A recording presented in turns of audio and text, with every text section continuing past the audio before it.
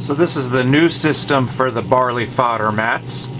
What you're looking at in this tray here, the uh, flood and drain approach, uh, which is currently running its cycle. Uh, this tray here just got the seed put in it, so this is day zero for this barley seed. It's about six pounds of seed in that tray. It'll fill up with the water right there and at this end you're gonna see there's the uh, drain is the little small cap down there. And that's where the water drains out. This is the overflow just in case for safety purposes. We don't want to flood on the floor.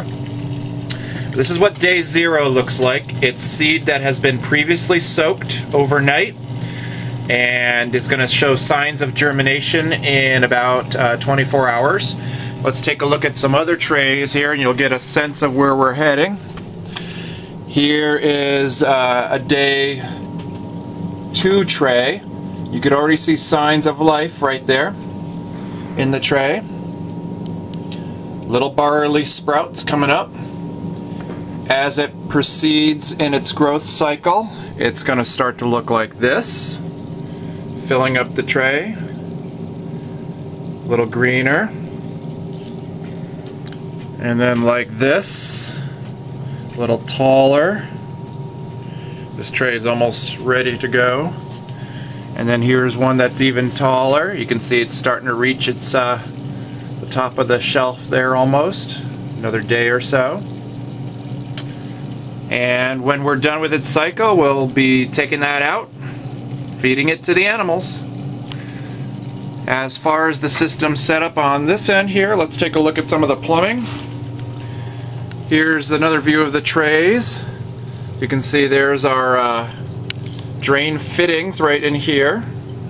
And each of those drain fittings comes down. The overflow fitting and the drain fitting.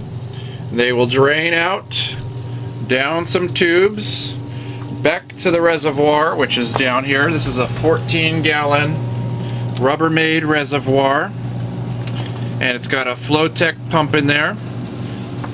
It's just basically got water, whatever I'm adding in there.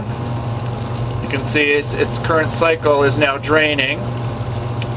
I have noticed that uh, the water after a couple days starts to get a little foamy. We're going to see if we can do a little research on that and reduce the foam from the barley. I think that's just part of soaking barley here.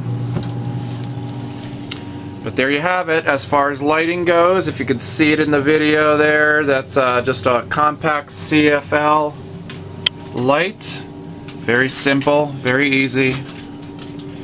There's one for each shelf. And that's uh, the total wattage of light that they're getting to grow throughout their cycle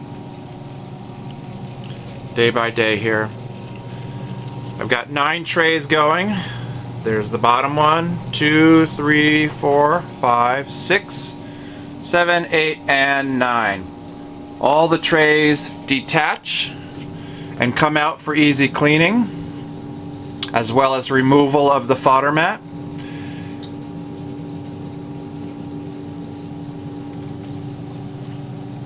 And there you have it. Barley fodder sprouting.